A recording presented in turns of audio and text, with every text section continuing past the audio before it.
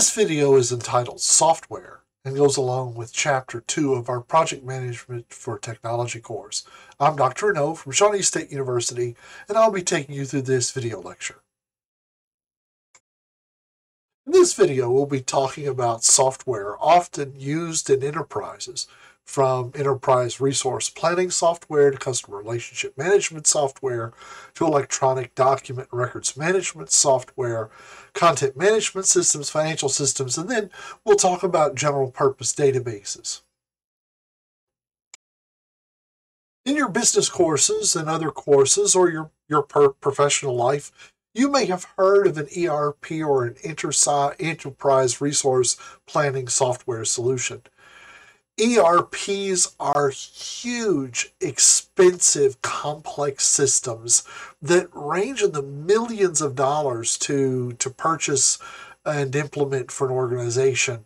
They take years and and dozens and, and sometimes hundreds of employees to implement an ERP completely and correctly.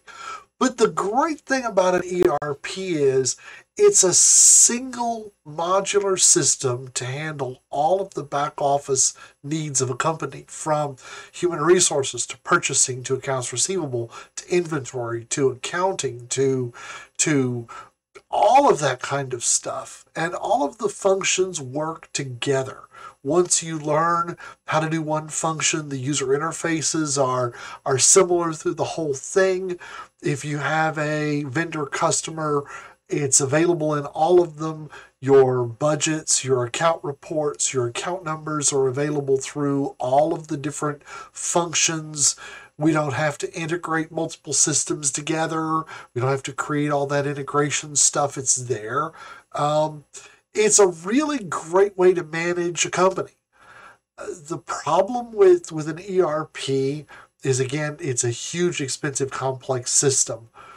And if you already have a solution, switching to another ERP, or if you don't have a unified system, changing the way you do your business to fit the ERP can be painful and, and can take it's a let's just say it's a huge project.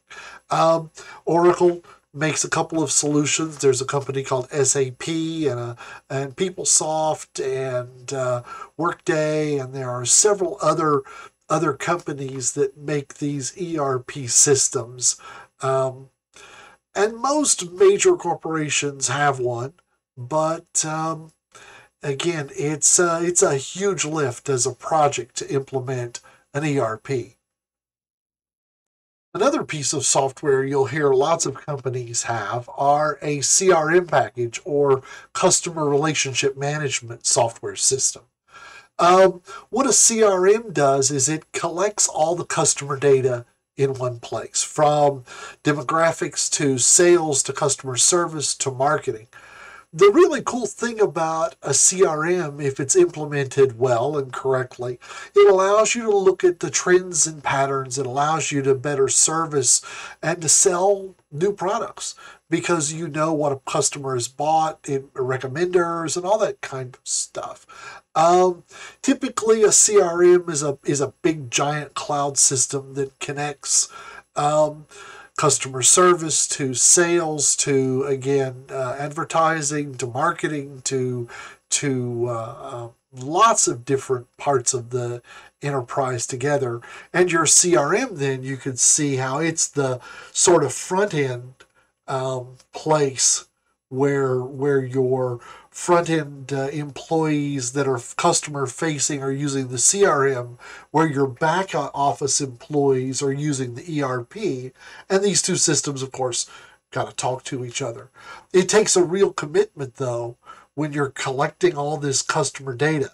It takes uh, it, it takes uh, forethought. It takes planning to be able to use the CRM to its full advantage. Um, and, and quite a commitment. And there are several CRM softwares out there, or you might decide that with your specific company's individual needs that it's time to design your own.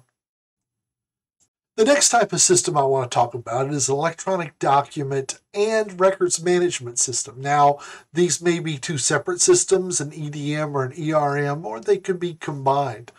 Stop and think about uh, schools need a, a records management system to record students and classes and grades and transcripts and, and all of that kind of stuff. A real estate company needs a, a, records management system to manage the contracts, the disclosures, the the offers, the acceptances, the closings, and all of those things.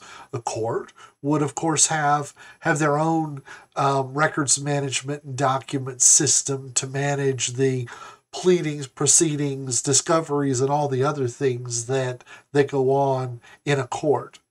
Um, often these documents uh, uh, move through an EDM as as through the system as they're being used. For instance, um, uh, and collect signatures. These documents do. So here at the university, we're using a, a program called DocuSign, where uh, a blank document is filled, you fill out the form, you sign it, it gets sent to the next person, the next person, the next person, until it reaches the final destination where it's stored, which is cool.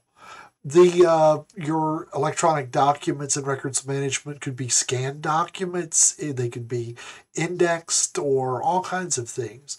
Another thing that we need to to to maintain is how long are we going to maintain each of these documents for? Is this a document like a tax document that you should keep for seven years, or is this a document you should keep forever? Who needs to see this? Strict access controls are are in place in an EDM or an ERM to to maintain confidentiality of a document to maintain uh, to to allow who can see it who can't see it who can modify it who can't modify it who can touch it who can't. Um, and the EDM and ERM uh, ensure that a document is genuine. For instance you order a transcript from the university our records management software generates a transcript that we are 100% sure is genuine and correct. So, so these document records management softwares are uh, an important part of, of a business, and lots of businesses, especially service businesses, um, really desperately need these and use these. There's another type of software known as a content management system. Now, content management is different than a records management because a content management system is usually used to manage and maintain a website and all the content and all of the media of that website. The data, the actual pieces of the page, the text, the images, the media, and all of those things are stored in usually in a database somewhere on a, on a server that then passes it from the data layer up to the presentation layer where the user actually sees it as HTML. And that's why CMSs are often made up of two parts. The management parts, where the screens, where the users can log in, modify the website at the at the screen, can use the WYSIWYG tools, the editor tools to create the content and then there's the delivery side that actually runs the web server that the external customers or external users will be used. The great thing about a CMS is it allows for consistency because you know we'll have a template, a co- corporate template with corporate colors and a standard menu bar, and and once that's all defined, it becomes when all of our pages are in the content management system, it becomes very easy for us to, to, to make tweaks to the whole look and feel and to keep it consistent. The CMS will allow multiple users to work on content simultaneously.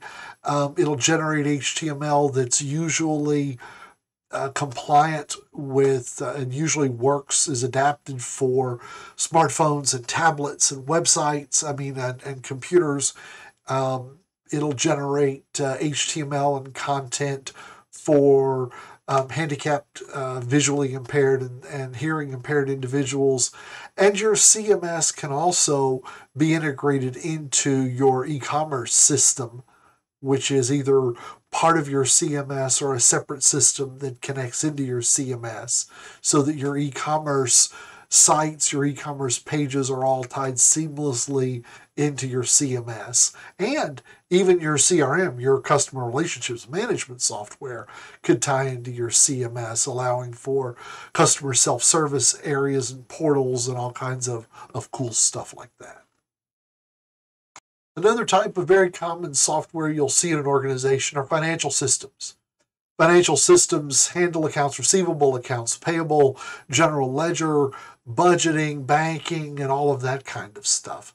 Now, in a large ERP system, financial systems would be one piece of the ERP or a group of, of modules within the ERP. But in a lot of organizations, these financial systems sit separately from their other systems and aren't as integrated as an ERP in the entire organization. Um, financial systems like QuickBooks and, and FreshBooks and, and other systems, Peachtree and, and all of those those types of systems. Um, again, maybe part of a larger something, but often are not. A financial system has to be accurate, has to be secure, and has to always balance. It has to include all the financial reportings and, and all of that kind of stuff. Um, it's really what drives the whole back end of the company. And, you know, I, I like to think of, of a financial system in an organization as kind of like the bearing in the center of a wheel because every part of the organization connects back to the financial system. Every part of the organization has a account number, has has expenses, incomes, has financial reporting, has profit and loss for each individual department, each individual segment of an organization. So everybody connects back into this central hub of the financial system. Now, so far we've been talking about uh, specific types of software, but but all of these systems rely upon a database or databases to manage and store the volumes, the hundreds of thousands, the millions of records that each of these systems have in them. So a database comes in two kind of flavors, the structured database and the unstructured database. The structured database is by far the most common and is great for storing things like transactional data, sales records, customer records, um, uh, you know, uh, purchases, checks, invoices, all of those kinds of things, inventory, items, quantity on hand, quantity sold, all of those kinds of things really fit into a structured data, a structured database. And most of the systems are ba- based on these. Um, a structured database uses tables of data. Think of a spreadsheet with rows and columns, but unlike a spreadsheet where you can put anything you want in a row or a column, a structured database requires each row to, to represent one instance of something, a transaction or a customer or a, um, a, a detail record of some sort. And then each column represents a certain piece of the data, or we call them attributes. Um, each of these rows, as we call them, or tuples, as they're called, within a database table, within the, that spreadsheet kind of thing. You could think of it that way. Um, contain identifiers, we call them keys, that allow connecting the row of one sheet to the row of another sheet. So we may have a sheet of customers with customer numbers, and then we have a sheet of orders with the customer number. And if we want the name of the customer, we have to go over to the customer sheet to get the customer's name and customer information because it's not on the order. We just have a customer number. But these structured databases are rock and roll, absolutely amazing, and are great for transactional data.